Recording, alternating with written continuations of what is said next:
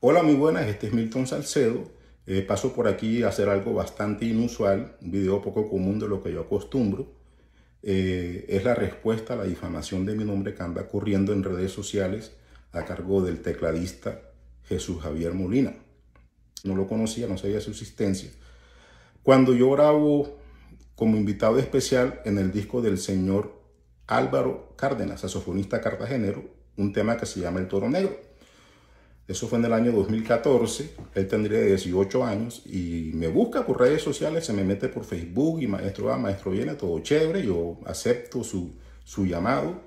Muchacho muy talentoso y le encantaba el tema que había grabado, que, fue lo que hice yo en el tema, que no sé qué, bueno, todo chévere. Eh, meses después, él se interesa por una obra mía de mi autoría que se llama Pacho Swing, obra que le compuse al maestro Pacho Galán en el álbum Espíritu Colombiano que estuvo nominado en la Academia Latin Grammy en el año 2013, Mejor Nuevo Artista. Jesús Javier se siente atraído por ese tipo de, temática, de esa obra musical mía, y él empieza a hacer sus versiones, sus, sus propios arreglos, sus variaciones sobre mí, sobre mi tema. Me manda videos tocándolo, maestro va, maestro viene, y pasan unos años, seguimos en contacto, estaba tratando con un muchacho muy talentoso.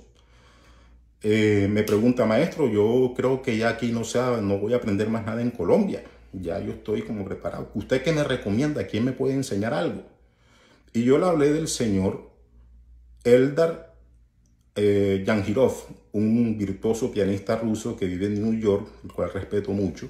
Y le dije, Jesús Javier Eldar, creo que es la persona adecuada para que sigas preparándote en tu técnica porque no todo es teclado, hay que tocar el piano, el sonido del piano, manejo de los pedales, todo eso. Eldar es una persona que tiene todo ese conocimiento para ti.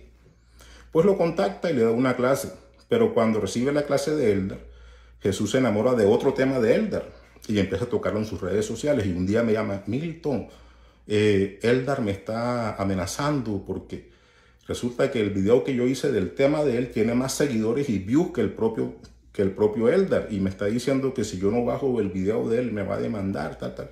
Pero Jesús, dime una cosa, tú le diste el crédito que el tema es de Eldar. No, por eso es que está bravo. Pues obvio que está bravo por eso, porque hay que respetar las, las autorías y los derechos, ¿verdad? Bueno, eso lo cuento como, como un preámbulo de lo que pasó con el tema mío. El tema Pacho Swing, el cual él le gustaba mucho, eh, y nos, nos unió como amigos. Él se va a Berkeley, Jesús se va a Berkeley, y entonces en su formación de Berkeley, un día me llama, maestro, le tengo una sorpresa, el tema es Pacho Swing suyo, le vamos a hacer un video con, con la banda mía en Berkeley. Y efectivamente hizo su variación. Y cuando ya está el video editado, lo suben a las plataformas y Berkeley me da el crédito. El tema de Milton Salcedo, chévere, está ahí todo lindo. Le hacen una segunda versión un año después, hay otra versión de Berkeley, tienen dos versiones del tema mío y me dan mi crédito, todo está perfecto. El problema viene cuando en el año 2017 a finales él vuelve a acercarse a Milton Salcedo para pedirme eh, la licencia para grabar el tema Pacho Swing en su disco de invitados. ¿Ok? Le digo, claro que sí, Jesús, tú sabes que somos amigos, puedes grabarlo, tal, tal, tal. Ok, lo graba, quedó perfecto, quedó maravilloso el tema. El problema no es ese. El problema es que en el año 2019, pues el disco mío, donde está la versión original, lo bajaron de todas las plataformas digitales. Me bajaron mi disco. Y yo dije, ve qué raro, ¿qué estará pasando? Pensé todo menos lo que les voy a contar. No hice mucho caso, esperé hasta el año 20, volví, intenté subirlo nuevamente, me rechazaban subir mi propio disco de espíritu colombiano, donde está la versión original de Pacho En mi preocupación, yo contacto a una mujer que trabaja con CD Baby directamente. Y en menos de media hora, yo le cuento todo esto que le estoy contando a ustedes. Y ella me dice, ve, qué extraño, pero déjame ver todo ese álbum, dame los números ISRC, dame el código de barras, a ver qué, por qué te está pasando eso. Y cuando yo le entrego toda la información, en menos de 10 minutos ella me da una llamada. Me dice, Milton, lo que pasa es que el tema Pacho Swing es autoría de Jesús Javier Molina. Por eso es que eh, eh, Apple Music, eh, Spotify, Amazon Music no van a aceptar tu tema porque tú te estás autoplagiando. Ese es el problema. Se lo hago saber, inmediatamente cuelgo con esta persona, que es una mujer que, que admiro mucho, Joanna Canton, si me quieres saber el nombre, me hace saber todo esto.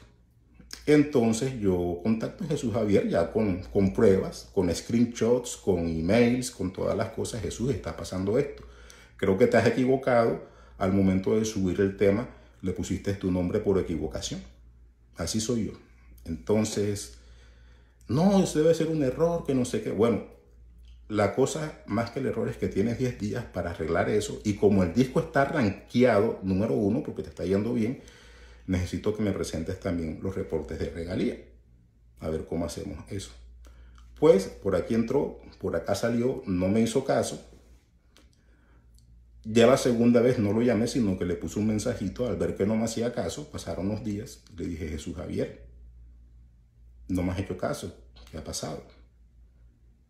No me respondía. Pues al pasar los 10 días, CD Baby bajó, bajó su disco por usurpación de derechos de autor. Por usurpación de derechos de autor y eso es grave. Yo no me explico, su padre de Jesús Javier, el señor Ramiro, es abogado y sabe de qué estamos hablando. No entiendo por qué no lo recomendó bien. Esto es delicado. ¿Ok? Entonces aquí no estamos hablando de, del video que subió Berkeley, que el crédito mío, que no, no pintes esas cosas así porque la gente no es tonta. Aquí estamos hablando son de los créditos autorales cuando usted subió su álbum Ágape. Usted se puso como autor del tema. Y eso me perjudicó a mí en mi propia obra, en mi propio álbum Espíritu Colombiano. Entonces, cuando hago esos reclamos, el Señor, en una actitud irreconocible, una actitud que no es propia de una persona cristiana, como Él lo hace ver, que me quedan dudas y ya se los cuento por qué. Una actitud irreconocible me dice, Finalmente tú deberías estar agradecido que yo grabé tu obra.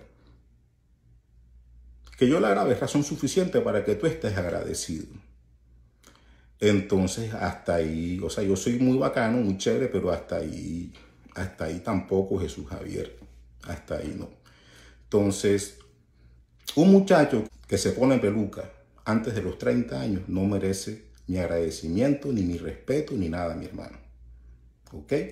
Yo le debo respeto al maestro Jorge Calandrelli, a Quique Santander, al maestro José Antonio Molina.